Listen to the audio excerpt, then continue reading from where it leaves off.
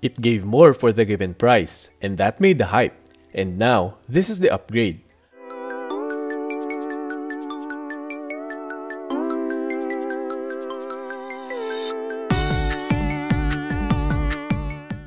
Lanicom po of Lanicom Views. Today, we will feature a new phone, ang next version ng Infinix Note line, the Infinix Note 8. Last year, nakuha ng Infinix Note 7 ang atensyon natin as it offered more than you can expect on a phone for the price. And now, giving out even more, here is Infinix Note 8. Inabangan nyo rin ba ang Infinix Note 8 dahil na-impress kayo sa Note 7? Comment kayo! Go, hintayin ko kayo. Bangkitin ko na din, this video is not sponsored. Salamat! Ngayon, sama-sama nating i-experience ang Infinix Note 8.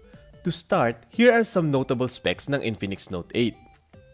Ang octa-core processor na MediaTek G80, 6GB of RAM, 128GB of storage, 4 cameras at the back, 64MP main camera, 2MP macro and portrait lens, at isang AI lens. In front, we have two cameras, 16 megapixel and a portrait lens.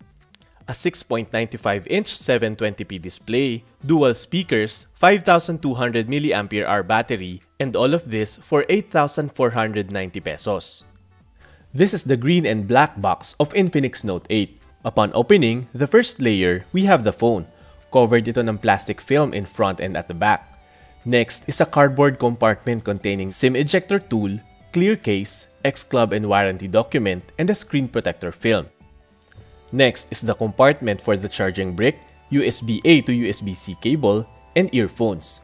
Try natin ang case. The case protects the phone well as the camera bump and screen is not protruding. Great case to start with.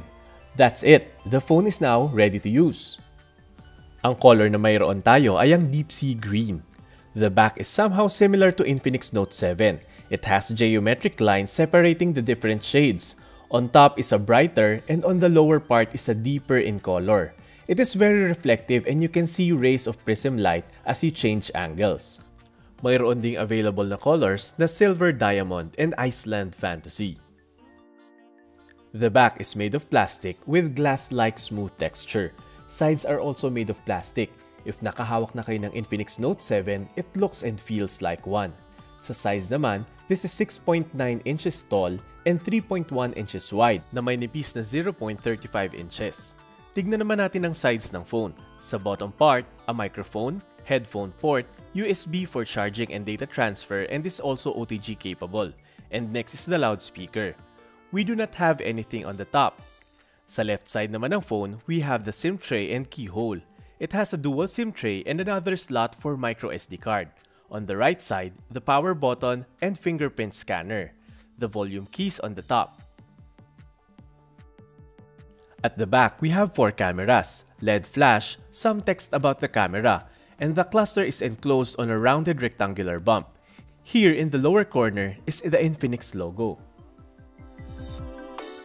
In front, we have the glass screen, no branding specified by Infinix, front-facing camera at the top left corner, we have ambient light and proximity sensor around here, and on the topmost, the ear speaker that doubles as secondary loudspeaker, and two front-facing flashlights.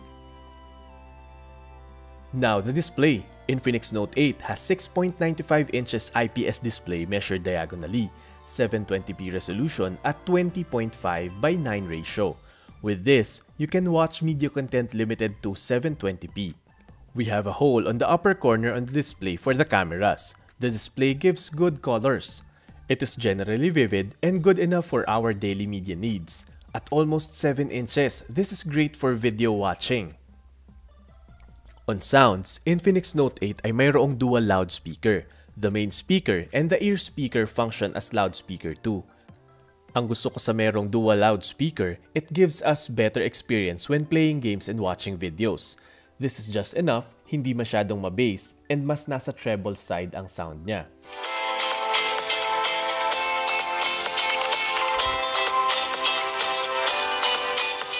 We have DTS sound enhancement native in the operating system. Personally, na-enjoy ko ang dual speakers. Mayroon din siyang 3.5mm headphone port para magamit ang ating mga favorite headsets. And as a communication device, it can connect to 2G, 3G, and 4G cellular networks. For Wi-Fi, it is dual band capable for 2.4 and 5 GHz. Mayroon itong Bluetooth, Wi-Fi hotspot, has GPS for location identification. It also has several sensors equipped in Infinix Note 8. For phone sensors, covered ang standards. Ito ay may ambient light, proximity sensor, accelerometer to detect movements, gyroscope, electronic compass, and fingerprint sensor for security. Fingerprint detector is fairly fast. Face unlock also is here if you find it useful. On battery and charging, ito ay may 5,200 mAh battery. This is big for today's battery standards. On casual use, kaya nito magbigay ng full day of power with extra on the next day. We do now have a Type-C port. It has an 18-watt charger that can charge the phone around 2 hours. A safety feature also is here that stops charging when the phone is full. Now let's go to the software. Infinix Note 8 is running Android 10 with XOS as customization. Just like other Android phones, swipe left and right to switch from the home screens Swipe down para sa notification and switch menu. Swipe up para sa app drawer. XOS has this instant app on the menu. Ito ay mga suggested apps that you can use while you are connected in the internet. Some might find this helpful, but you can disable it if you want. XOS has additional tools like Power Marathon and it is the power management tool, a game mode, a theme store, a phone optimization tool, app clone, nandito din ang freezer kung saan you can put apps that you can use but will not run on the background. Ang side panel ay nandito din, giving shortcuts by swiping on the edges. Notable din ang bike mode wherein you can set to block calls and messages and can send auto-reply while you are driving. Screen recording is also native in XOS. Pagdating naman sa performance, this phone is using MediaTek Helio G80 octa-core processor with graphics processor of Mali G52. Mayroon itong 6GB of RAM. This setup is said 35% better than the Infinix Note 7. Banggitin ko na din, this combination is also the same processing setup with the famous Tecno Pova. Para sa daily tasks, this is very responsive. It can do multitasking easily, even split-screen applications, it is running very well. Helio G80 is a gaming-centric processor. When it comes to gaming, kaya naman niya ang mga graphic-intensive games on specific settings. XOS ay may built-in Game Boost tool para ma-optimize ang phone for gaming, with anti-addiction tool to remind you on your gaming schedules. Game panel din is present dito sa ating XOS by swiping on the side to check the CPU and GPU usage, shortcut to apps, take screenshot or recording, clear all background apps, Off-screen ay useful para sa mga games na may autoplay, and the magic button to set the volume keys mapped on the screen tap. Mablock din ang calls and notifications ay nandito. And here are some gaming samples of the Infinix Note 8. On Call of Duty Mobile, it can do medium graphics quality with high frame rate. More than acceptable ang experience natin dito sa laro na ito. It is very responsive, smooth ang movement and no stutters tayong na-experience.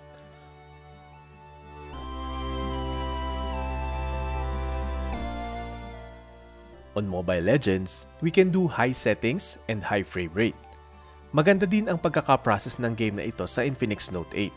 Smooth and detail ang elements on the game, wala rin masyadong lag and stutters tayong na-experience.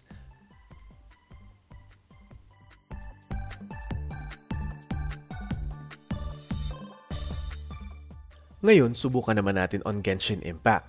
Ang default setting niya is on the lowest. This is the optimal setting for this game The game is heavy on graphics, pero on this setting, kayang-kaya naman niya ito. You can enjoy the environment and the colors nitong Genshin Impact. Notable din ang experience with the stereo speaker.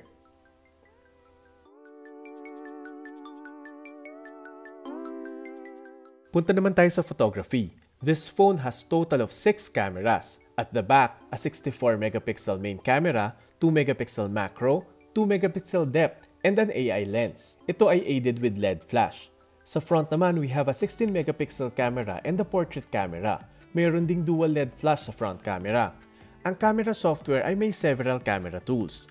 Sa topmost, nandito ang settings menu wherein you can adjust the picture size and capture tools tulad ng eye autofocus. Nandito rin ang guide to help you get the best photos.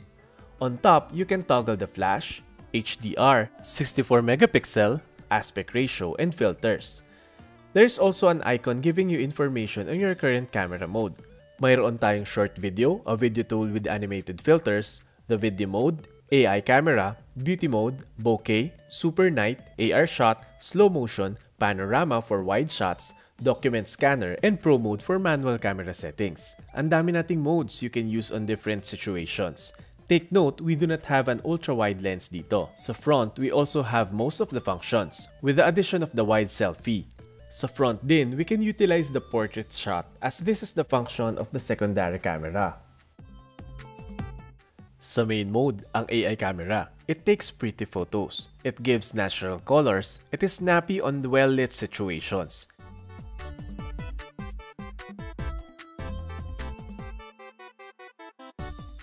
It also performs well on indoors. For portrait mode, it utilizes the portrait camera. I noticed na mas matagal ang shutter speed niya, so keep the phone steady when using this one. Macro shot, good for super close-up shots. Beauty mode gives smoothing and slimming enhancements. Ang super night mode naman ay good on dark areas. Slow motion, short video and AR shot is fun. Utilize panorama for wide shots dahil wala tayong ultra-wide angle lens.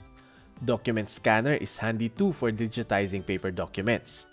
Sa front naman, it gives natural detailed looking selfies. The video can do 720p, 1080p, and 2K resolution. Mayroon ding super steady mode and portrait mode on video. I am impressed on the video capabilities ng Infinix Note 8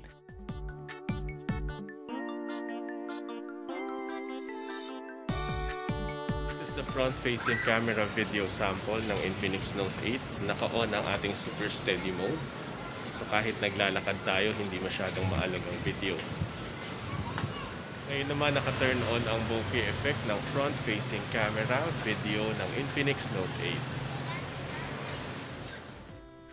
8. To wrap up this overview, what can I say about Infinix Note 8? I can say it is a well-rounded phone. Anong ibig sabihin? For its price of 8,490 pesos, it does well with above average on all aspects. It has big RAM and storage, great processing performance. It has good cameras, good battery, stereo speaker, great looking, and all of this for a low price. Mayroon kasing ibang phone na specific feature lang ang maganda, like good for gaming pero not good on camera, or sobrang tagal naman ng battery pero may kabagalan gamitin. Infinix Note 8 it does well on all. Ang tingin ko, iyon ang reason why Infinix Note 7 was hype before. So is Note 8 an upgrade from the Infinix Note 7? Yes, it is. Mas mataas ang price ng Note 8 ng 500 pesos. You will get an upgrade on cameras, good video capabilities, the processor, the battery, and also a Type-C port. Ipagpapatuloy ng Infinix Note 8 ang good impression that Note 7 gave us. That is it. This is the Infinix Note 8. I hope nakatulong ito para ma-experience ninyo ang phone sa panonood lamang. Subscribe to Lanicom Views, follow nyo din sa FB, Twitter, and Instagram ang Lanicom Views. Comment kayo at pag-usapan natin ang mga views ninyo and learn from each other. This is Lanicom of Lanicom Views. Hanggang sa muli!